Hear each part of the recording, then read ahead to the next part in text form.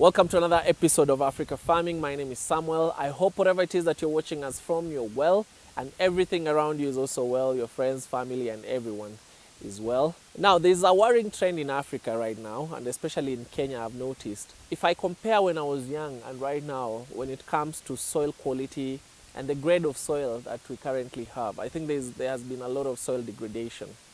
And it should be a worrying concern. Most people are not taking this so much into consideration, but there's a lot of soil degradation in Africa or in developing countries. Uh, in this particular episode, we might talk about some of you know the the things personally in my own opinion that I think contribute to the degradation of soil and some of the solutions that I think we need to you know look at and focus on implementing on the ground to ensure that we bring back the quality of soil that we used to have back in the day. Some of the things that I've noticed personally is that number one, there is what we call nutrient degradation. Soil contains nutrients. Now, one thing that I've noticed, especially in this area that we are at, most farmers extract more nutrients than what they put in. This area focuses mostly on, you know, uh, organic fertilizer. But remember when you're talking about organic fertilizer, we, we, we, we mentioned that there is that organic fertilizer that doesn't come from a factory. Um, it just comes right from, you know, like your sheep pen or your, your, your cow, whatever. It's called a cow shed or something. So you just take it directly from there, you go put it somewhere, decompose it, whatever that happens, that whole process. Then you take directly to the farm. You've not really, uh, you know, tested to know the levels of nitrogen, whatever nutrients that are there. So at the end of the day, in that particular video, we said that most organic fertilizer compared to uh, most organic fertilizers compared to artificial fertilizers do not have uh, the required amount of nutrients that the soil needs. So you'll find that in most developing countries, most people use organic fertilizer from their from their cow shed or from their livestock generally. And these do not really put into the soil the amount of nutrients that the plants that farmers plant extract from the soil. So in the long run, you find that uh, our soil keeps degrading in terms of the nutrient, cont- uh, the, the nutrient content. If you move around Kajiado, you'll find that there are areas where people have abandoned planting because they say it's derelict land. But in my own opinion, I personally think that they've used so much nutrients around that particular area that they've decided to move to another place. And this has actually been caused also by leasing of land. People lease land, use all the nutrients that they, there is in that particular piece of land. They don't get, you know, they don't put in nutrients uh, into that particular soil or that land compared to what they're getting from. So there is what we call nutrient degradation. Number two, we have what we call salinization or salinization, wherever it is that you learned your English from. Salinization basically is, um, there are areas in Kenya, I'll just, as I've said, I'm using examples from where I am. There are areas in Kenya that don't have fresh water, right? If you're not in that area, maybe this does not affect you. But if you look at areas like the coastal region, even here in Kajiado, we have salty water. Now, too much use of this salty water, we call it saline water. Most irrigation schemes, remember we talked about the weather pattern. So right now most people are, are digging boreholes and when you dig boreholes in these areas, you'll find saline water. Now, too much use of this saline water ends up degrading the soil, right? After a while, you find that this specific soil cannot produce the way it used to do because of too much salt in the, in the soil.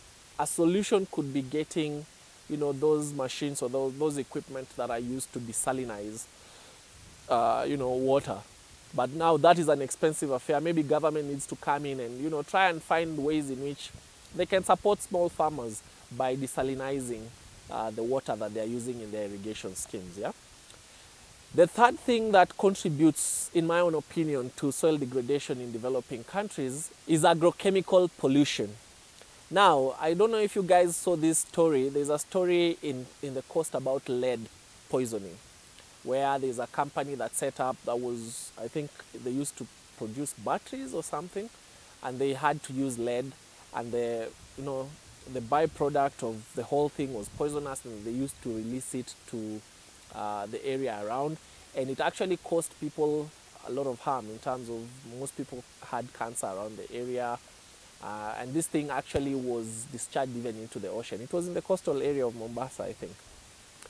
If you go to a place like um, uh, Lake Victoria, around the area of Lake Victoria, there are companies there that release their, their, their, their waste into the lake, right? They discharge all their waste into the lake. And in the, as a result, because most people use also this water from the lake for their own farming activities, you find that at the end of the day, too much use of this water from agrochemical pol uh, polluted uh, water uh, will result into the destruction of our soil quality, right?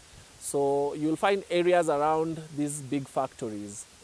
I think you've noticed that if you go to areas that have factories around them, uh, there is little activities going on with regards to farming because of that pollution, agrochemical pollution, especially those factories that don't know how to discharge or, you know, to release their waste in a in the recommended way. The fourth reason why there's a lot of soil degradation in, uh, uh, you know, developing countries is soil erosion. Now, one thing that we were blessed with are mountains, valleys, and all that. These are scenic beauty, by the way. Most people come from different places to come, you know, enjoy the scenic beauty that uh, these developing countries have. By the way, developing countries have the best scenic beauty, you know, generally speaking. But one thing that this has, the effect that it has on our soil is what we call soil erosion because having mountain, you know, uh, valleys and, you know, mountains, it kind of creates what we call slopy land.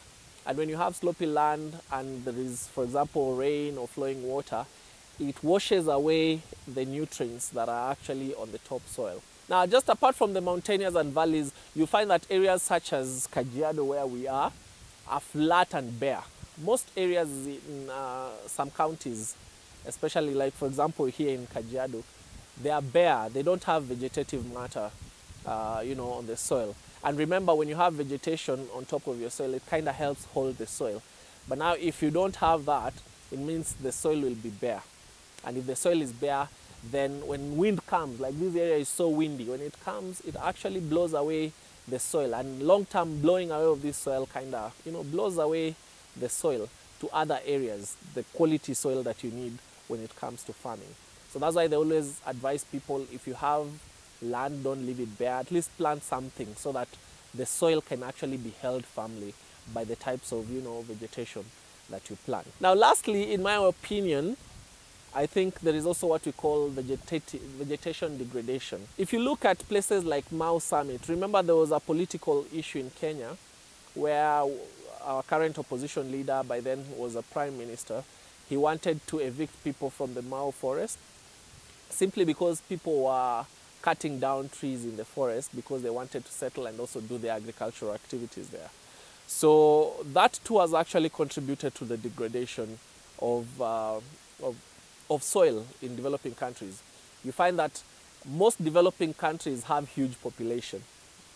Developing world goes hand in hand with huge population. So with, with huge population comes the demand for land.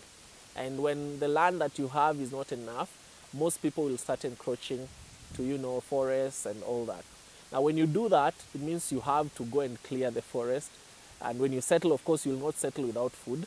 So you'll not only clear a place for your own house, you'll also clear, you know, uh, some space where you're going to plant your crops.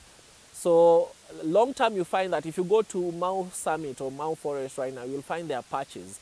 Hardly would you see the original Mau forest that used to be there because of you know encroachment. So what are the solutions that you think we can do or government can actually implement when it comes to soil degradation and just trying to improve the quality of soil? Number one, there's what we call terracing and building of gabions. Remember during Moi era, for those people who are not there, he was so passionate about agriculture and he used to promote things that would, you know, improve quality of soil. So he would encourage people to, when you cut one tree, you plant two, like it was government policy then. Um, uh, before you cut a tree, you had to get a permit from your chief. It was government policy. I don't know right now because I see a lot of logging happening. But anyway, during that time there was that.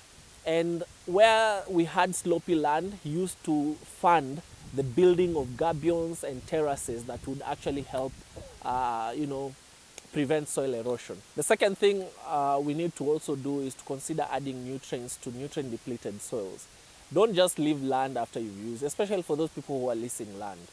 Don't just plant your stuff and after you've already used the land, you move, you go lease another land somewhere else. Let's try and see if we can add nutrients to that nutrient depleted soil. Thirdly, I think we need to rebuild our topsoil, and one of the, the ways in which we can rebuild our topsoil is to ensure that we plant vegetation. I keep telling people, don't leave your land bare. Plant anything. Just plant something that will hold your topsoil family together. I think we also need to practice conservation farming.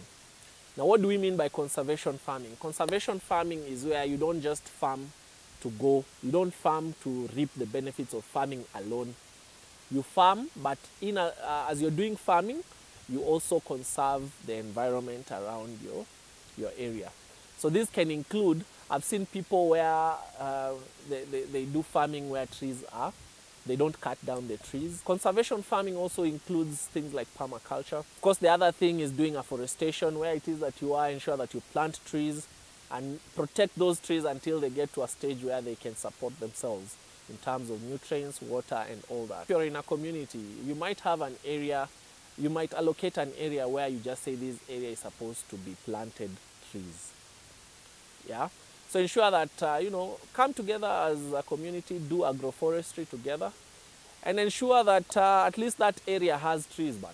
The other thing is uh, we need to do uh, water saving type of agri uh, of irrigation.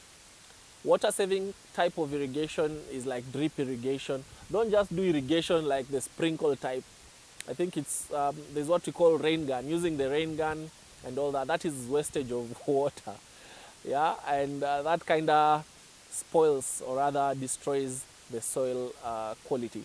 And also harvest water whenever there is rain. Make sure you build ridges, um, construct ridges on your on your roofs, and harvest that water and use that water because one thing about rainfall uh, rainfall water is that it's not saline it is actually fresh. That would be actually the perfect water to use in your agricultural activities. Build uh, your underground storage, make sure that you harvest your water and use it for your agricultural purposes. Last but not least, have what we call community-based uh, natural resource management. Uh, one thing I love about this area, especially the natives around this area, they have policies when it comes to natural resources you are not just going to use the natural resources, even if it's in your own land and you're wasting it, they'll come and tell you, hey, this is not the right way to do. So you can also do it wherever it is that you are, have some sort of a community way of managing your natural resources. I think those are the solutions that I think we can implement. Otherwise, um, I think that's it for us today. If you have any question or feedback that uh, you want to give us, kindly go to the comment section. Don't leave this video without you know leaving a like. Make sure you click on the like button so that at least the video can actually spread to other people using the Google algorithm uh, that will help spread the video. So don't leave this without liking the video.